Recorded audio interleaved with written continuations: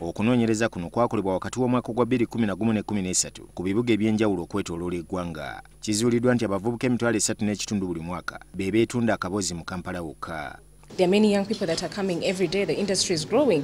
We are registering over 35,000 young people in prostitution in Kampala alone. And this is by the Crane survey that was produced in 2013. Aba uganda youth development link bagamba nti abantu bano okumamira mu kampala kivudde ku kyokuba nti abaana bangi baggibwa mu byalo nga balimbiddwa okubafunira emirimu mu kibuga.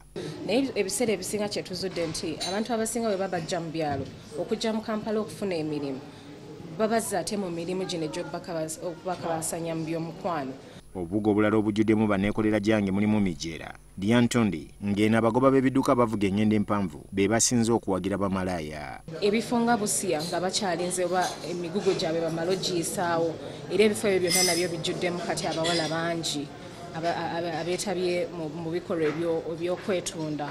Alipoota eno era eraga nti wakyaliwo okusoomoozebwa mu kulwanyisa omuze guno olw'amateeka gamukubye byayi. Kulaba nti abakulembeze baffe bataddewo amateeka laws mu parliament agawa ebibonerezo kubakola ebikolobero ebyo titwetaaga tukwataganyize wamu n'abantu bonna bekikwatako.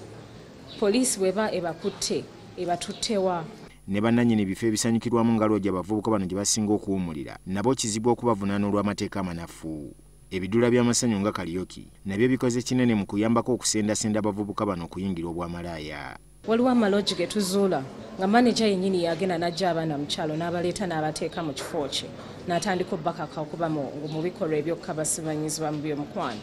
Kati baagala paalamenti enyweze mu mateeka. Dini lubowa sava ntv akawungezi